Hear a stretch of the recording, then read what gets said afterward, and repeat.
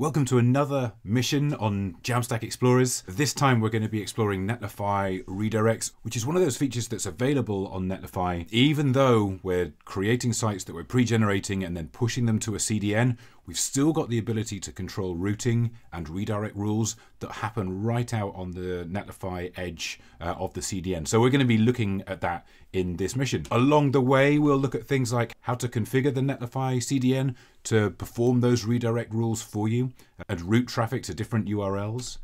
We'll look at things like rewriting and proxying to not just different parts of the site, but also different services around the web. We'll explore how to create contextual 404 so you'll have complete control over what 404 pages you display to your users at different parts of your sites and applications.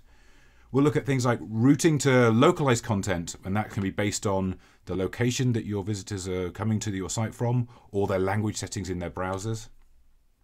We'll also look at how to gradually migrate from any other platform, any other infrastructure to a Jamstack site on Netlify, and how you can do that gradually uh, over time and with complete control.